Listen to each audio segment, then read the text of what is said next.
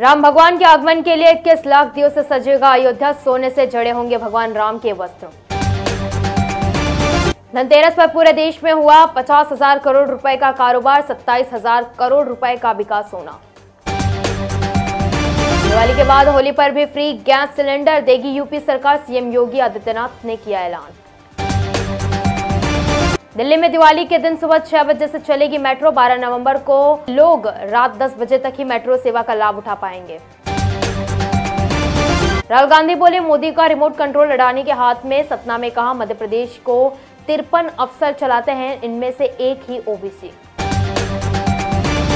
मुख्यमंत्री एकनाथ शिंदे का मुंबई करो को दिवाली का तोहफा। मेट्रो लाइन 2A और 7 पर आखिरी मेट्रो अब रात साढ़े दस बजे से रात 11 बजे तक चलेगी। बीजेपी के पास कोई मुद्दा नहीं, पीएम मोदी धर्म के नाम पर लोगों को भड़का रहे हैं अशोक गहलोत का बड़ा हमला। आईसीसी ने श्रीलंका क्रिकेट बोर्ड को सस्पेंड किया। वर्ल्ड कप के बीच आईसीसी का बड़ा एक्शन, श्रीलंका क्रिकेट बोर्ड को किया सस्पेंड। पीएम मोदी बोले, सत्ता के लिए कांग्रेस को तरसाइए सौ साल। राहुल गांधी को कहा, जिसे जो चांदी का चम्मच लेकर पैदा हुआ है, उसे गरीबों से कोई मतलब नहीं। कांग्रेस में कुछ ऐसे नेता हैं जिन्हें राम से भी नफरत है, प्रमोद कृष्णम का बड़ा आरोप। प्राण प्रतिष्ठा समारोह के लिए सीएम योगी आदित्यनाथ को मिला आमंत्रण, बाबा बोले जीवन धन्य हो गया। फतेहपुर में सगे चाचा ने ही छह महीने की बच्ची से किया दुष्कर्म, पॉस्को एक्ट कोर्ट ने सुनाई उम्र कैद की सजा। दिवाली पर दिल्ली सरकार की अपील, पटाखे न जलाएँ, हवा फिर से हो जाएगी प्रदूषित। बारिश से दिल्ली वालों के प्रदूषण से बड़ी राहत। अब 13 नवंबर को ऑड इवन लागू नहीं होगा। केजरीवाल सरकार ने लिया फैसला।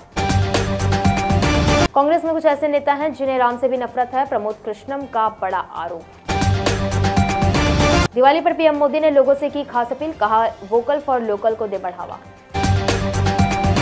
प्राण प्रतिष्ठा से पहले राम मंदिर पर आतंकी खतरा, सुरक्षा में होगा बड़ा बदलाव। परिंदा भी नहीं मार पाएगा।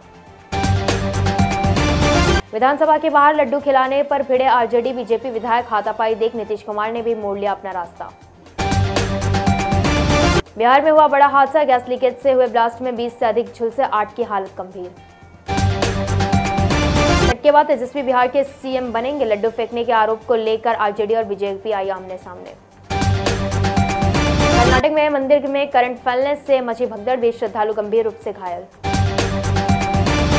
नवादा में पिता पुत्र की तालाब में डूबने से हुई मौत। मृतक की पत्नी ने बताया, मिर्गी के दौरे पड़ने से पति पानी में गिर गया।